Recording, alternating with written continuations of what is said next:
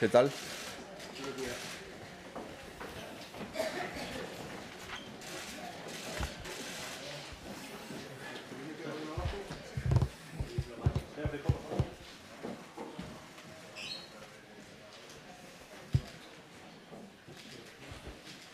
Empezamos. Muy bien.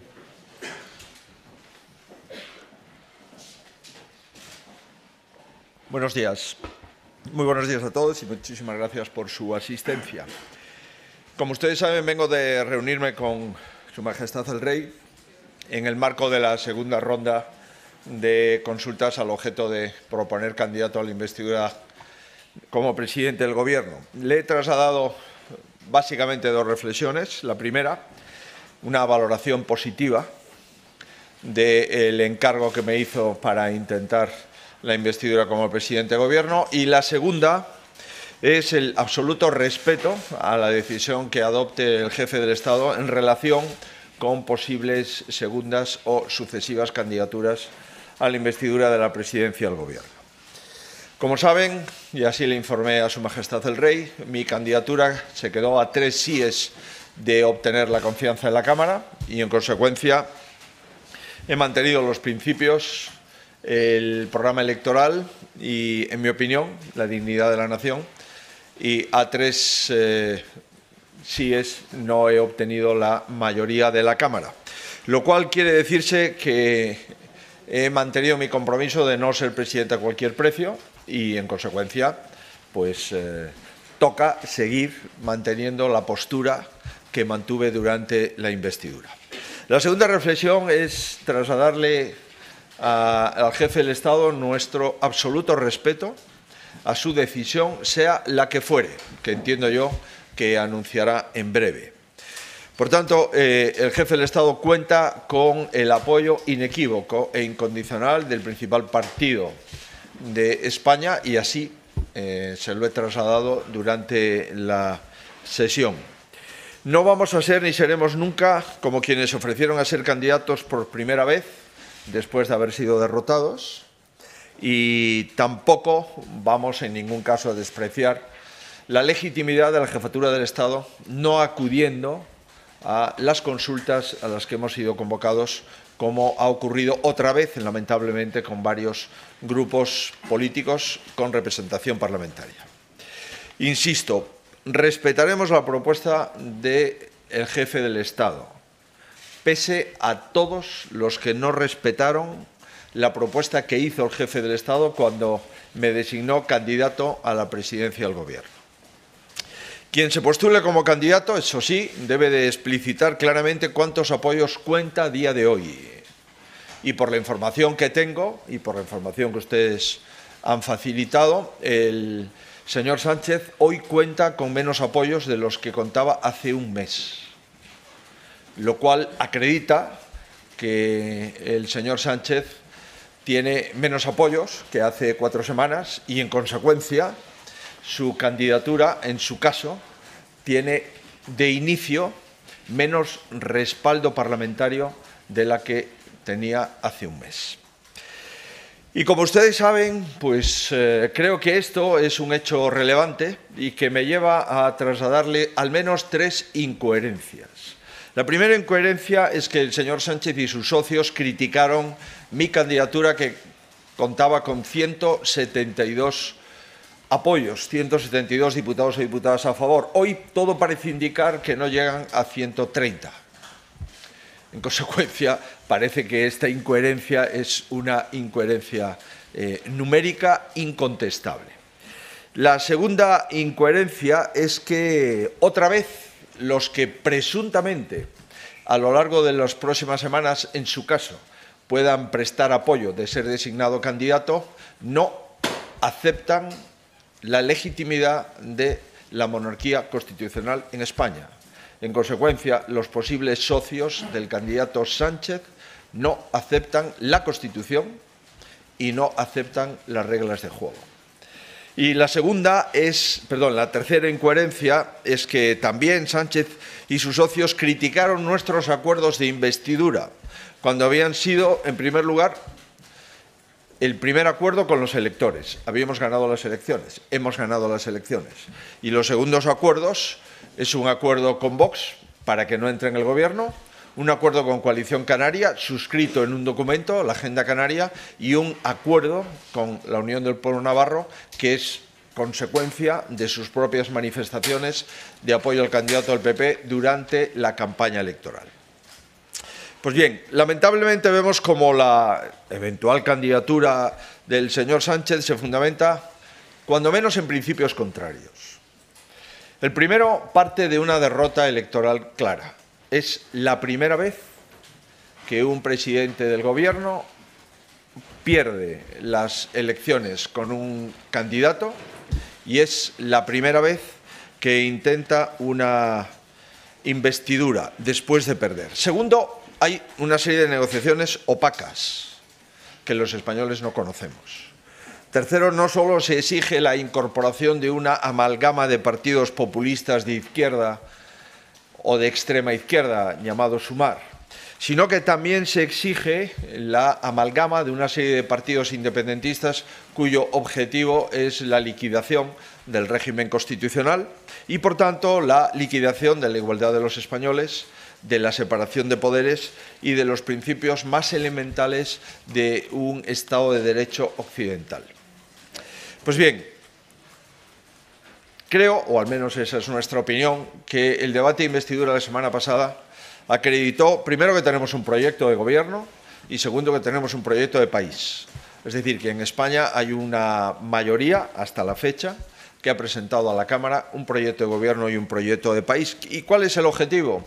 los españoles, los ciudadanos y las ciudadanas de nuestro país.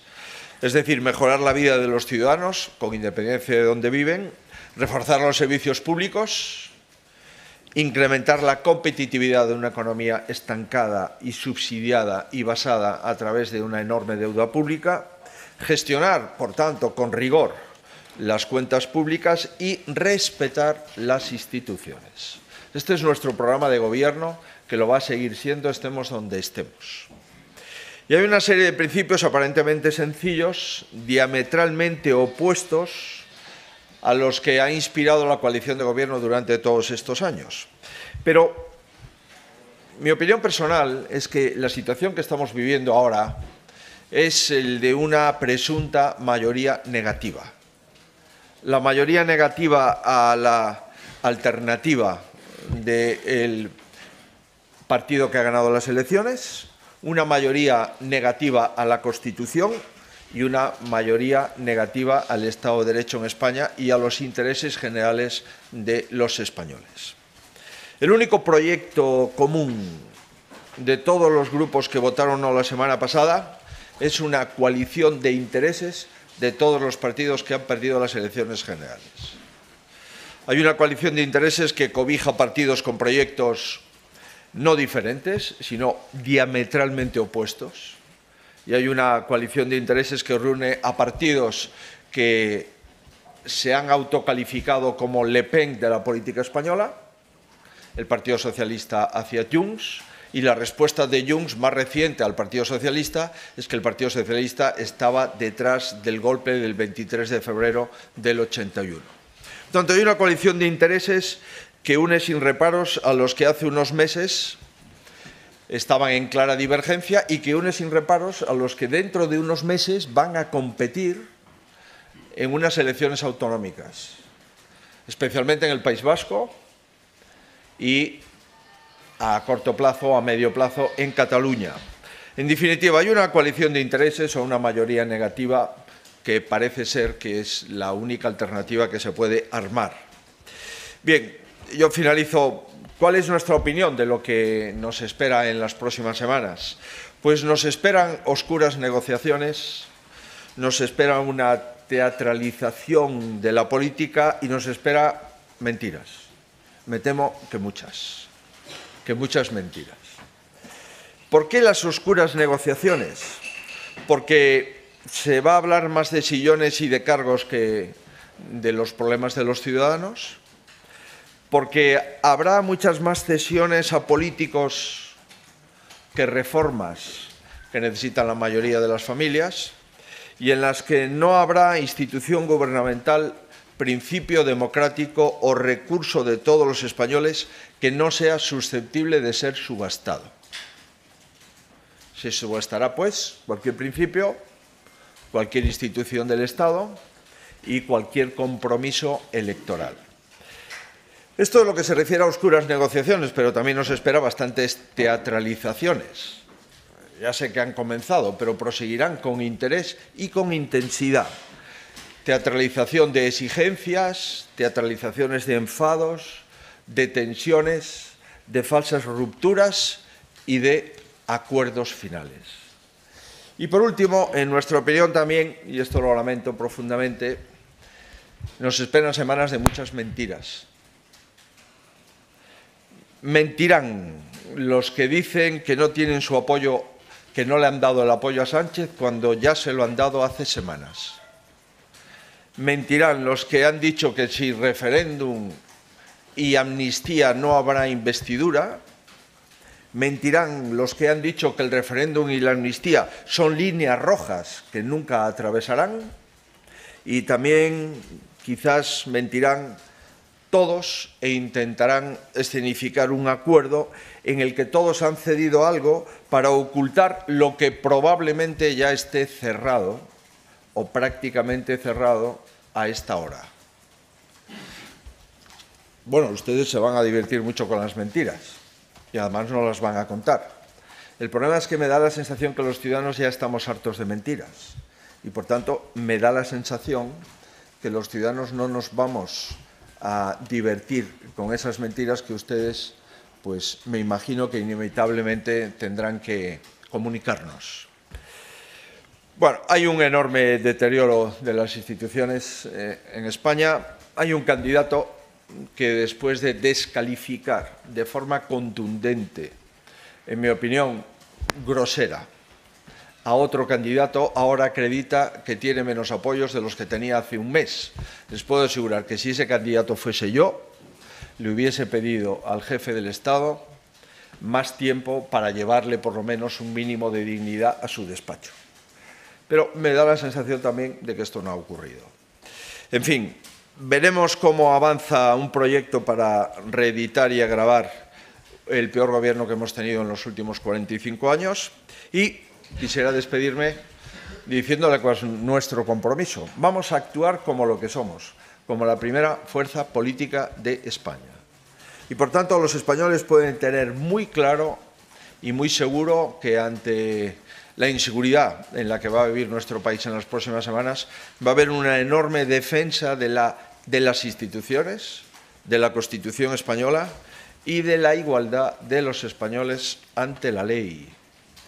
Y seguiremos demostrando que es posible una política distinta.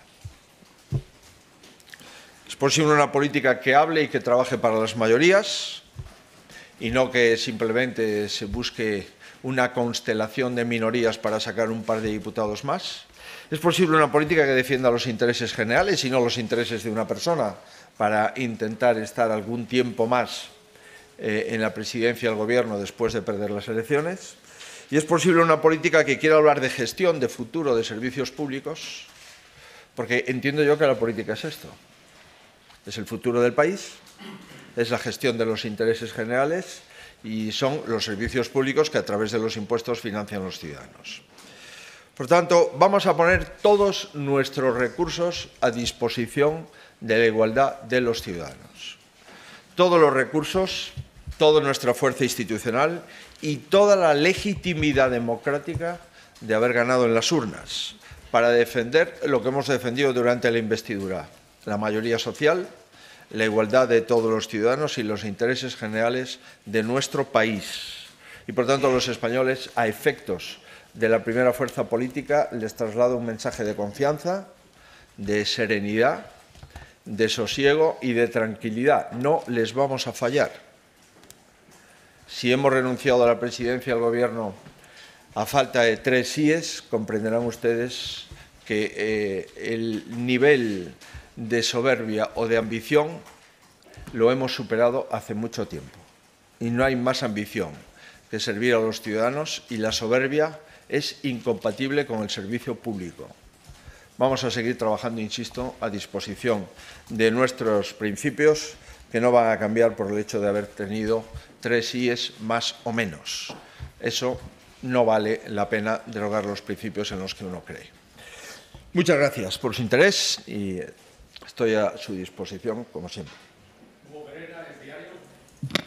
Muy buenas tardes, eh, presidente. Veo que se acerca más a un gobierno de Pedro Sánchez que a unas nuevas elecciones. Eh, ¿Cómo se va a materializar la oposición, por tanto, al Partido Popular en términos prácticos? Es decir, más movilizaciones en la calle, eh, más batalla, digamos, en los tribunales, digamos, usando ese poder tan potente que, que tienen ustedes en el Senado con esa mayoría absoluta. ¿Cómo se va a materializar esa oposición? Y una segunda pregunta, ¿qué le parece que Pedro Sánchez eh, comparezca en la prensa después de usted, después de Armengol, yendo por tanto en contra un poco de la costumbre hasta ahora. Gracias. Eh, mire, nosotros lo acabamos de referir. Yo, si fuese el candidato Sánchez hoy, le pediría a Su Majestad el Rey que me dejase un poco de tiempo, por un poquito de dignidad, ¿no? Porque acudir al despacho después de leer los medios de comunicación hoy y acreditar que tiene menos apoyos de los que tenía hace un mes y que parece ser que está en cuestión hasta los apoyos de su socio de gobierno, pues es una humillación que creo que no debería haber soportado ningún presidencia del gobierno de nuestro país nunca. Eso de que no te apoyen ni tus socios de gobierno o que te apoyen condicionado a no sé qué, acredita que en España no hay gobierno. Y en este momento España lleva sin gobierno varios meses y ahora ya es fragrante el hecho de que no hay nadie a los mandos de nuestro país. ¿Qué es lo que vamos a hacer? Mire, nosotros vamos a defender lo que creemos. Comprendo que esto igual en política no está de moda, pero vamos a defender lo que creemos. ¿Que puede haber nuevas elecciones? Por supuesto. ¿Quién las va a decidir? Los que deciden desde siempre, que es el independentismo catalán y muy especialmente el señor Puigdemont. Tanto el señor Sánchez es simplemente un actor de reparto en una obra que dirige el señor Puigdemont. Veremos cuál es el nivel que le otorga al actor de reparto. Puede darle un Oscar al mejor actor o puede darle un Oscar al actor secundario o simplemente no tener ninguna nominación, pero no sé cómo va a acabar el festival. Por tanto, sería bueno, creo yo, que para que la investidura en España no se considere un festival o un teatrillo, sería bueno, por supuesto, que los españoles volviésemos a hablar. Esa es mi tesis. Entre el gobierno de la mentira y unas elecciones, creo que es mucho más digno para esta vieja nación unas elecciones. Pero eso no va a depender de lo que yo quiera, sino de lo que decía el señor Puigdemont. ¿Cómo nos vamos a defender? Lo he dicho, con todos los recursos democráticos a nuestra disposición. Que yo sepa, en este momento está transcurriendo un pleno en el Senado donde una de las dos cámaras de las Cortes se va a manifestar en relación con la amnistía. Si queremos en la democracia que una de las cámaras tenga que reunirse para votar si es legal o ilegal algo que a sabiendas ya sabemos que es ilegal, es sin ninguna duda algo atípico. Veremos cuál es la respuesta final y ya tiene usted eh, la primera eh, actuación de la respuesta democrática que vamos a dar durante estos meses que, quedan hasta que el contador de los 60 días finalice, bien con un nuevo gobierno o bien con una convocatoria electoral. Y la tercera cuestión no recuerdo cuál era. Que Pedro Sánchez intervenga después de Bueno, no lo sé, pero hay una canción que recuerdo tiene una estrofa que dice más o menos la costumbre engendró el aburrimiento entre tú y yo pues eh, ya eh, eh, no, se cuida absolutamente nada y como comprenderá usted, cuando un señor no tiene el cuajo para contestarle al candidato a la presidencia del gobierno en una sesión de investidura y cuando ni siquiera obtiene los votos de sus socios en el gobierno, ya todo es posible. Sí, hola, buenos días. le quería preguntar retomando un poco la contestación sobre las elecciones, eh, usted le ha trasladado al rey que su apuesta es más por repetir elecciones que porque se elija a un nuevo candidato. Gracias. Yo le he trasladado al rey antes de saber cuál es la posición del jefe del Estado, dos cosas. La primera es que creo haber cumplido su designación como candidato a la presidencia del Gobierno en la sesión de investidura. Y la segunda, que decida lo que decida, el grupo mayoritario en la Cámara va a respaldar la decisión del rey. Por tanto, a partir de ahí hemos tenido una conversación franca, larga, en mi opinión, como todas las del rey, fructífera, y yo le he dado opinión sobre las cosas que me ha preguntado y opinión sobre otras que no me he preguntado y he considerado oportuno dársela. Pero comprenderá usted que las conversaciones con el jefe del Estado son privadas. Lo que yo quiero hacer público lo acabo de hacer en esta rueda de prensa, en la que ustedes han tenido la paciencia de escucharme. Sí, yo quería preguntarle, señor Feijóo, suponiendo que el candidato designado por el rey es Pedro Sánchez, eh, si Pedro Sánchez le llama a una ronda de consultas, ¿usted asistiría? Y en caso de que la respuesta sea afirmativa, ¿con qué planteamiento? Es decir, el Partido Popular ahora mismo lo único que plantea es eh, apoyar a un gobierno presidido por usted. Eh, entiendo que de ahí no se van a salir. Pero bueno, le pregunto por si tiene alguna otra cosa en la chistera. Gracias. No, no voy a hacer ningún, ningún magia en ninguna reunión. Eh, usted, yo, primero, no sé si el, si el señor Sánchez, eh, no, no le puedo confirmar que sea el candidato, pero como comprenderán ustedes, a mí no me toca confirmar ni desmentir absolutamente nada. Y sobre lo que va a hacer, también lo ignoro, porque supongo que lo que me ha pedido, ya me lo ha dicho en el Congreso de los Diputados por diputado interpuesto. Y no creo yo que, que tenga muchas novedades al respecto, ¿no? Pero, en fin, me da la sensación, le vuelvo a reiterar, que por mucho que diga el señor Sánchez, aquí lo que interesa es lo que diga el señor Puigdemont. Una vez que Sánchez ha dicho no a acuerdos de Estado y a que en España mandemos los españoles y a tener 258 diputados y diputadas para la modernización de nuestro país, una vez que ha dicho no a esto, automáticamente el, el, director de la España contemporánea, desde el punto de vista político, es el señor Puigdemont. Hemos de reconocerlo. Y hemos de tener la humildad de aceptarlo tanto, me interesa mucho más lo que diga el señor Puigdemont que lo que diga el señor Sánchez. Última.